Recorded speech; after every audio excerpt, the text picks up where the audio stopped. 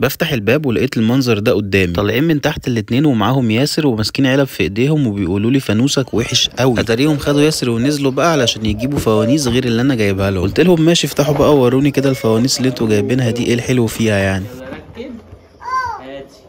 المشكلة انهم كانوا واقفين بيتنططوا من الفرحة حرفيا وأنا مش فاهم في إيه. المهم بقى إنهم قعدوا يركبوه وأنا قاعد مستنى أشوف النتيجة في الآخر هتطلع إيه يعني.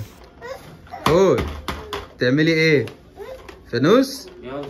فانوس حور ركب مسا بتعملي إيه؟ فانوس؟ الله. يلا نشغل. شغل بقى؟ يلا. يلا هوبا. ثواني وايه ما شغلكش بتاعك؟ ياسر يا ابن اللذينة.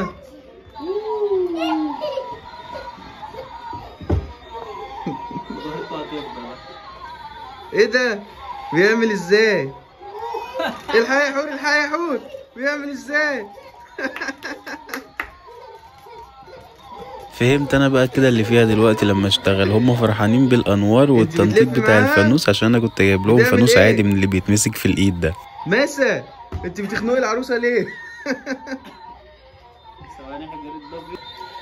حور تعملي إيه؟ إيه دي؟ وحوي يا وحوي. ما تكسرهمش بس أهم حاجة. شتت هوب. يا- سقف سقف بتعملي إيه يا حور هو انت اللي بتنطي. يلا سقفة كبيرة يا عمو سقفة كبيرة سقفة كبيرة. ده أنت جبت لنا صداع ابن لذينة ده يفضلوا مشغلين طول اليوم. حد يا ابني يجيب الصداع لنفسه؟ تعملي إيه؟ هتلف إيه؟ هتلف إيه؟ حلوة؟ سيبيها عشان تلف. سيبيها يا حور عشان تلف.